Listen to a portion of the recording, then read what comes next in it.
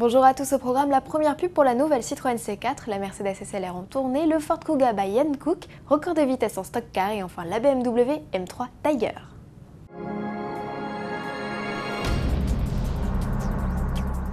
C'est encore les Facebookiens qui ont eu la primeur de découvrir la première pub pour la Citroën C4. Comme vous n'avez pas tous de compte sur le site communautaire, voici un extrait.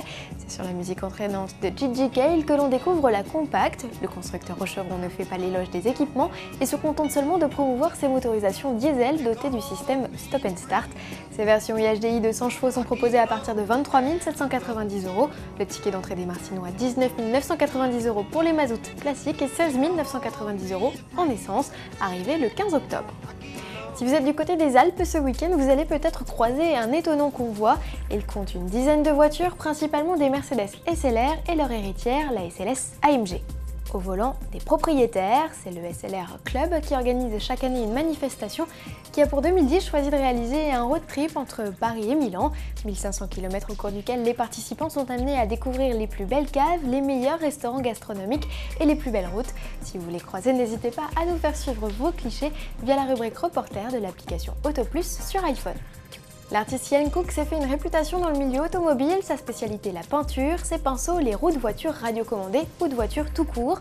Ford Grande-Bretagne a publié une nouvelle vidéo montrant l'artiste en pleine réalisation d'une nouvelle toile, le modèle un Ford Kuga, de création chez un concessionnaire près de Wimbledon.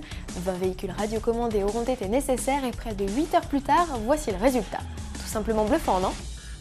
Le lac de tous les records, c'est le lac de Bonneville aux États-Unis. Sur cette immense étendue de sel s'affrontent chaque année des fusées et autres véhicules motorisés. Tous les pilotes n'ont qu'un objectif, battre un record de vitesse.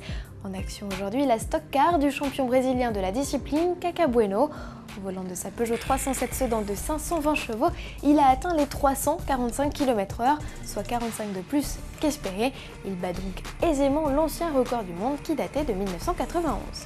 On se quitte avec un site, beastinside.cc. Cette interface fait la part belle à l'édition spéciale de la M3 pour l'Empire du Milieu, son nom Tiger Edition. Ici, deux vidéos vous sont proposées dont une fait son film catastrophe, on adore. La bête est lancée à l'assaut de ce marché en plein essor. Créée à l'occasion des 25 ans de la M3, la Tiger Edition est limitée à 30 exemplaires en Chine.